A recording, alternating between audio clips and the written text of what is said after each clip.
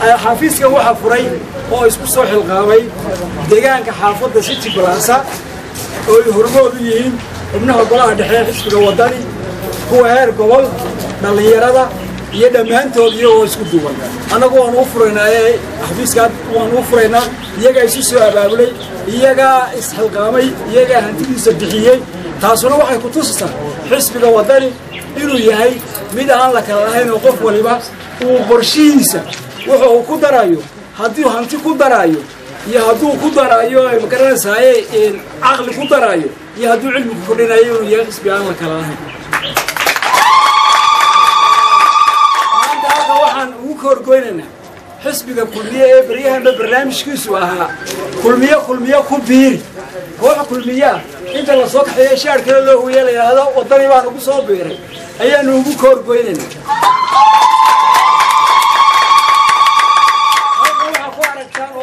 muuqda haldoorkii burco weliba dhinaca bariga.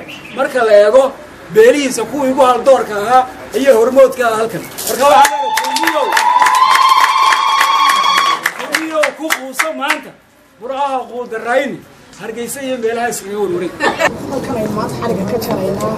Waa bariga burco ama xaafadda la yidhaahdo city balaasa kolley waxaa laga maqal balaasa marka la yidhaahdo laakiin bariga burco marka la yidhaahdo ay dad badani kartaan wuxuu noqonayaa horkuweetarkii ugu weynaa ee bariga burco waxaan leeyahay qalbi furan gacmo furan ayaan kusoo dhaweynaynaa kulmiye dhalinyarada xisbigu markuu xidhan yahay waxaa xidhan dhalinyarada qaranka xisbigaa xidhay xukuumadda somaliland oo dhan baa xidhan in badan baynu la hadlay xukuumadda oo dhagaas ka furaysa waxaanu leenahay haddii aad faraha ka qaadi weydaan dhallinyaradu xidhaan maysa xisbiga wadani guddoomiyahooda iyo guddoomiyaha. Xogayaha sports toone mudaharaad deg dega ayaanu samayn doonaa. Halkan maanta waxa aanu ka furaynaa xafiiskii uu furanayo xisbiga waddani ee gobolka togdheer xaafadda gaar ahaan city balas xafiiskaas oo ay degaanka city balasa ama ay aad isu xil saareen oo rag badan oo hormuudihi ay ka soo shaqeeyeen oo ugu horreeyo xogayaha qorshaynta muuse yuusuf iyo baalashiisa iyo dhammaan dhallinyarada xaafaddu.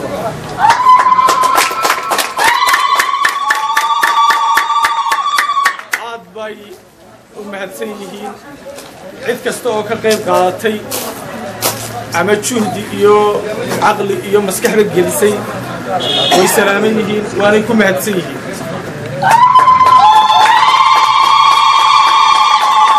xafiiskan iyo furitaankiisa aad baanan u soo dhowaynayaa waxaanan hubaa maanta maadaama u abtiyaashay xisbigii ay kor u qaadeen oo ay qaateen oo ay maanta wadaan iyagu hawshii u ballaadhnayd oo hogaamiyii ruuxiga halka dabadeeda ka muuqdo.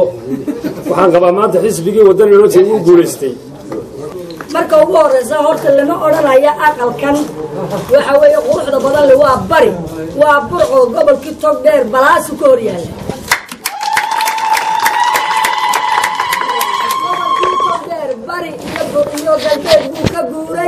guuray maanta qayaarad kastoo ka qayb qaadatay siideenteyda iyo xarigayga waxaa farxad gaaraya inay isku soo beegmeen furitaanka xafiiska cusub iyo qoriyadeeda aad iyo aadna waan ugu faraxsanahay.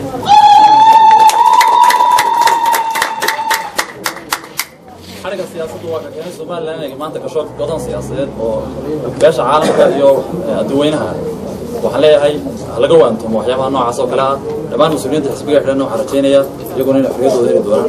Aad dalku waa isku mid dalku waa somalilan wixii cadaalad ku hogaamin lahaa ayaa loo baahan yahay maanta waxaa weeyaan xisbiga waddani in lagu soo wada biiro.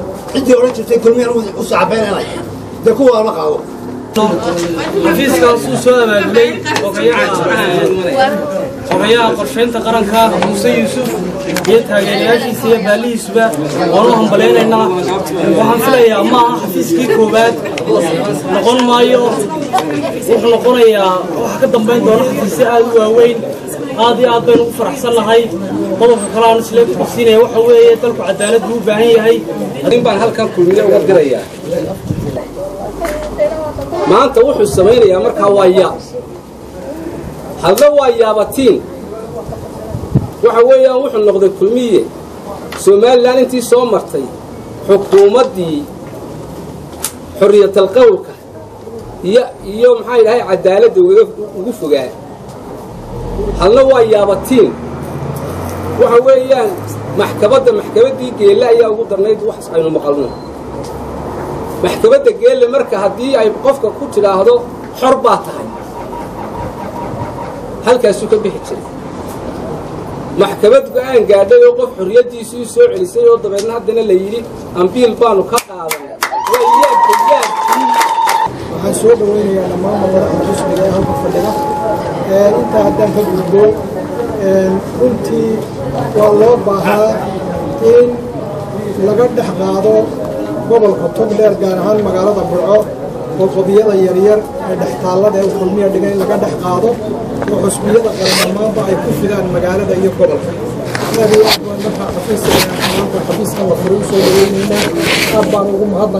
Ka soo agaasimay soo qabanqaabiyey soo qorsheeyey burcaddan quruxda badan sida weyn quruxda badan ee maxaa sida quruxda badan loo soo agaasimay ayaan maxaa iyagana mahadcelin u dirayaa. Waxaan leeyahay dadka yeelay ku nool daafaha dunida kaadhkii ayaa la qaadanayaa sida ugu quruxda badan. Kaadhkaasuna waxa weeye kii lagu kala tegi lahaa weeye. Waxa kasta waxaan leeyahay qof kasta oo reer wadanii meel kasta oo uu joogo ha ku dadaalo siduu warqadda u qaatay inuu kaadhkana u qaato. Hadhowna ha ku dadaalo siduu xisbiga wadani. Codka u siiyo si aynu isbeddel dhaba u helo